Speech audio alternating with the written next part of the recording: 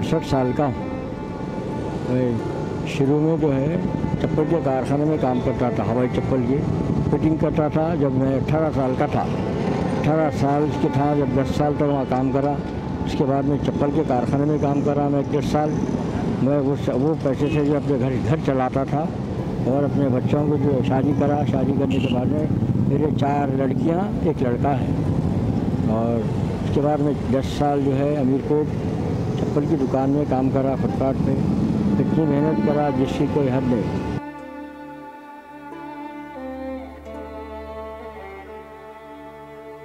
उसके बाद फिर चार मीनार के पास एनका बेचा तराशा होटल के पास, दस साल। वहाँ पे जी है अच्छी आमदनी की उसी घर, उसी असना में मैं एक लड़की की शादी करा, अल्लाह के फजल करम से। और मैं जो है, अपने इस पर अपने बलबूते पे मेहनत सुबह में जो पाँच बजे उठ जाता हूँ मैं, उसके बाद से जो काम करने निकल जाता हूँ, शाम में आठ बजे घर जाता हूँ मैं।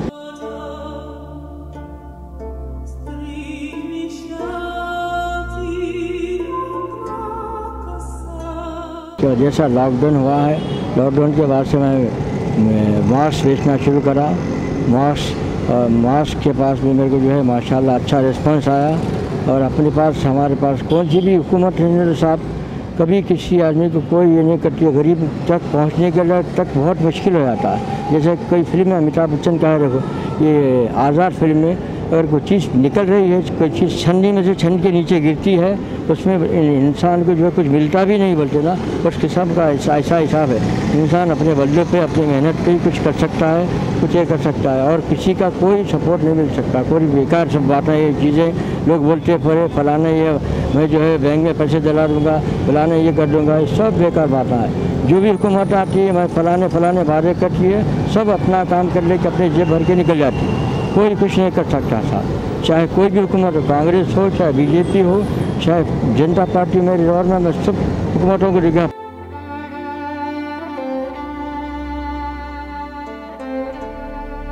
एक ज़माना ऐसा था जब निज़ाम सरकार की जो हुकूमत थी, जब तो भी ऐसा था, हर इंसान हिंदू, मुसलमान, सबको देखते थे। लेकिन आज का ऐसा पीरियड है, सिर्फ़ फीलिंग है साहब फीलिंग नहीं चाहिए। फीलिंग ऐसी रहने से इंसान हुकूमत पे जो बैठते हैं, वो लोग तरक्की नहीं कर सकते। फीलिंग पे जब बैठते हैं ना, दिल साफ़ होना चाहिए। इसके बाद में हुकूमत करेंगे तो आप, हर आदमी की जो है वो चीज़ साफ़ रहती है। महँगाई देखिए आप कितनी बढ़ गई है। आज देखिए प्याज का रेट है। आप प्याज एक सौ बीस रुपये, सौ रुपये जाके अस्सी रुपये प्याज रही प्याज क्या रेट चाहिए कम से कम दस रुपये, बारह, पंद्रह रुपये। गरीब आदमी क्या खाएँगे, आप बताइए। इंसान को जो है जब आदमी जो है हुकूमत में बैठने के बाद सारी चीज़ों का कंट्रोल चाहिए। छोटे मोटे चीज़ों का कंट्रोल चाहिए आप। आप अपनी जगह बैठे हुए, आप कहाँ बैठे हुए? सीएम की सीट पे बैठे हुए आप। लेकिन आप गरीब के पास आके देख रहे हैं कि क्या चीज़ है, उसमें इसको कितना ही हो रहा है। आप आज देखिए, तालाब कट्टा भवन नगर इधर कितने लोग गरीब लोग। इसको मिल रहा, पैसे वालों को मिल रहा, जिसके पास है उनको मिल रहा। जो गरीब है, जिसको मुस्तक है, खाने को खाना नहीं है, उसको जो भूखे मग रहे हैं, एक पाकिट में दो लोग खा रहे हैं साहब।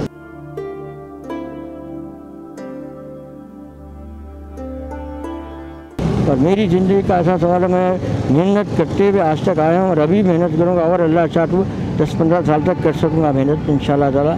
ये मैं यार मांस बेच रहा हूँ, बहुत ही अच्छे इस पर बेच रहा हूँ और आदमी काम करने से उसकी सेहत अच्छी रहती और जो है खाना, हजम होता, सब चीज़ है। लेकिन हुकूमतों पे मेरा ये कि चाहे कोई भी हुकूमत आंदा हुकूमत ऐसा रहना चाहिए साहब। आदमी को अपने भेज के भाई, किसी गरीब की क्या तकलीफ़ है? मिल रहे हैं दस हज़ार रुपये, किसको मिल रहे हैं? आपके कारकुनों को मिल रहे चाहे वो मस्जिद मजलिस हो, चाहे वो बीजेपी के कारकुन हो, चाहे कांग्रेस के कारकुन हो, सिर्फ़ अपने अपने आदमियों को लोग बांट रहे हैं। असल जो हकदार है, जो आदमी, आज भी गरीब आदमी रिक्शा चलाता है, उसको नहीं मिल रहे ऐसे आदमी को मिलना चाहिए जिसका हक है, जो पायज है, जो एक पैर से जो है, आज भी ऑटो चलाते हैं लोग। एक पैसे जाते मांगते क्या वजह से? उसकी वजह क्या है? अगर गवर्नमेंट हुकूमत से अगर उसको फ़ायदा पहुँचता है तो वो लोग क्यों ये करेंगे ऐसा बोलिए आप?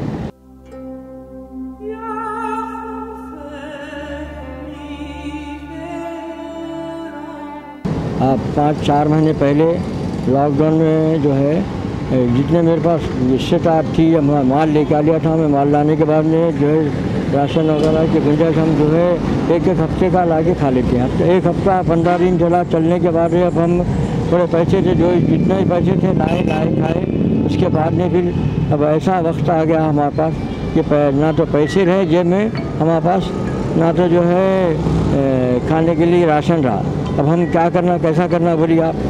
इस तरह से आदमी को जो है, किसी का भी सपोर्ट नहीं।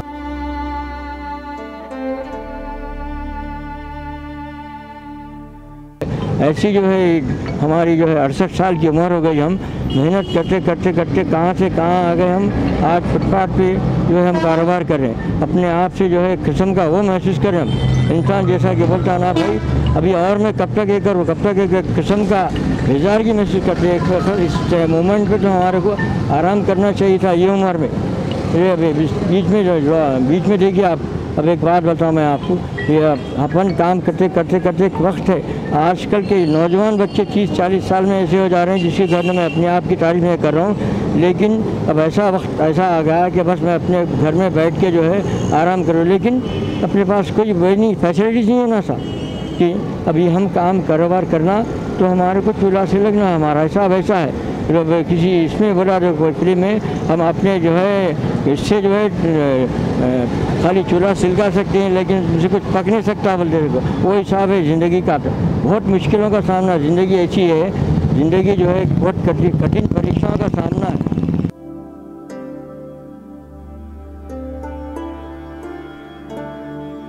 इंसान जो है, अपनी ज़िंदगी से बेजार होके भाई अब मेरे पास जो है, क्या है, कुछ भी नहीं है, क्या भी नहीं है। मैं जो इसके सिवा जो है मैं खाली जो है फांसी ले लेके जाता है। ये फांसी लेना या सब जो है, ये करना सब बेकार बात है। इंसान अपनी जो है मेहनत से, अपनी कमाई से कुछ बनता है। इंसान जो है मुश्किलों का सामना और मुश्किल ऐसी चीज़ होती है इंसान को मुश्किलों में ही इम्तहान होता है इंसान और जब आप बीमार पड़ जाते हैं, जब कुछ चीज़ हो जाती है, जब भी अल्लाह ताला जो है आपके ऊपर इम्तहान लेते हैं, और जो इंसान बीमार पड़ जाता है, उसको जो है अल्लाह ताला उसके गुनाह माफ़ कर देते हैं। हम ये सोचते हैं, अरे भाई, हम जो है मर जाएँगे। क्या मरने से क्या हासिल होंगे आप मेहनत करना, हिम्मत करना अगर मेहनत कर हिम्मत से अगर आप जो है ये करेंगे, नमाज़ पढ़ेंगे, सब करेंगे, अल्लाह ताला को याद करेंगे आप तो आपका खुद रास्ता खुल जाता। नहीं हम मरने के लिए सोचेंगे, अगर खुदकशी करने के लिए सोचेंगे तो ये खुदकशी खुदकशी जो है, बहुत गलत चीज़ है। खुदकशी करने वाले लोग मेरे को बिल्कुल पसंद नहीं। और इंसान जो अपनी मेहनत से, अपनी लगन से जो काम करता है, वो इंसान बहुत पसंद। सुसाइटी करना, सुसाइड करना जो है, बहुत बेकार चीज़ है। इंसान जो लोग जो आदमी अपने आप को मेहनत और हिम्मत से काम करता है, वो आदमी बहुत अच्छा होता है। आज ना आज मेरे को आपकी दुआ से ना जो बीपी है, ना शुगर है।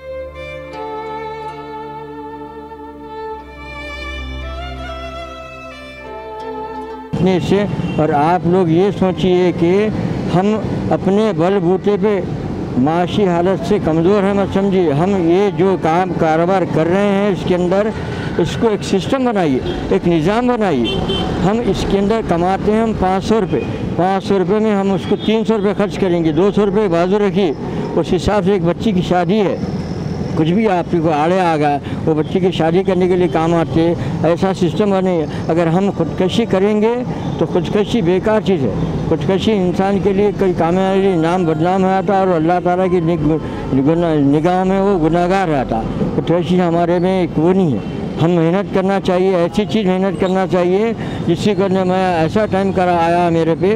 मैं एक दुकान, स्कूल जाता था, स्कूल जा के आने के बाद में एल बेचता था। एल बेच के चार घंटे, चार मीनार पे इसके फिर स्कूल जाके चार मीनार, चार बजे आने के बाद चप्पल की दुकान पर काम करा मैं। यानी मैं साठ अठहत्तर अड़सठ साल का हूँ आज। जब मेहनत, कितनी मेहनत कर लेते आ रहा हूँ और मैं एक दिन खाली नहीं बैठा। कभी किसी चीज़ अगर कोई हो गई मेरे को तो बेकार एक दिन बाहर निकल जाके ठहर जाता लेकिन खाली बैठना नहीं पसंद करता मैं इंसान हमेशा अपने, इससे, अपनी हिम्मत से कुछ करना चाहिए। अगर अपन खुदकशी कर लेंगे तो खुदकशी सबसे बेकार चीज़ है, चाहे वो कोई भी हो। बच्चा हो, मिसाल के तौर पे कोई बच्चे है, देखिए आप, मैं एसएससी में पढ़ता था, मेरे माँ बाप मेरे को डांट दी है, मैं उसको सुसाइड कर लूँ क्या मिलता सुसाइड से, आपका नाम खराब आता, आप उस चीज़ को आगे बढ़ाते हुए देश का नाम रोशन करना चाहिए माँ बाप का नाम रोशन करना चाहिए, आप ये बोलना चाहिए, फलाने का बेटा है, देखो इतना बड़ा आदमी बन गया आज, आजकल के दिन क्या था? आज ऐसे ऐसे लोग हैं, कुछ बंडी चलाने वालों के बच्चे भी इंजीनियर बने हुए, डॉक्टर्स बने हुए, वकील बने हुए। लेकिन हमारे को आज मेहनत करने से ये नहीं करना चाहिए, कभी पीछे नहीं हटना चाहिए, सुसाइड नहीं करना चाहिए। एक बात याद रखिए, आप लोग ज़िंदगी में कभी कुछ बनना है तो मेहनत, लगन और इंसान की ईमानदारी, सब काम आएँगी ये चीज़।